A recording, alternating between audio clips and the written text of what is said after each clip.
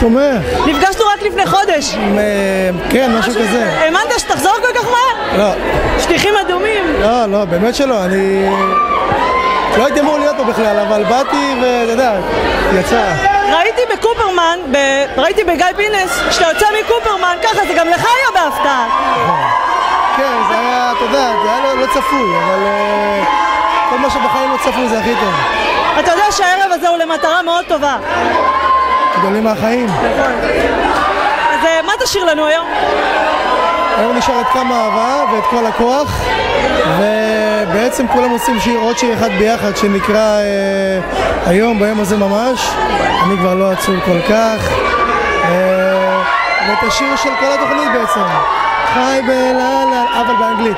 לא שומע מה הרעש פה. קובי! Thank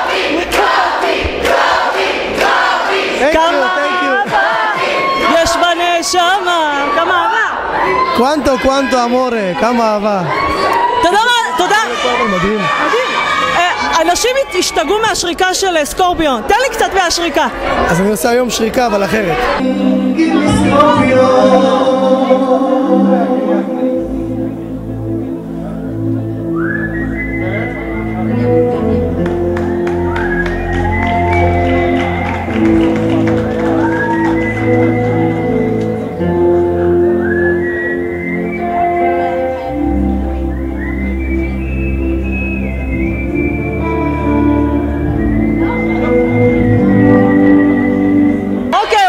שריקה משהו אחר היום על הבמה. שריקה של אלוויס.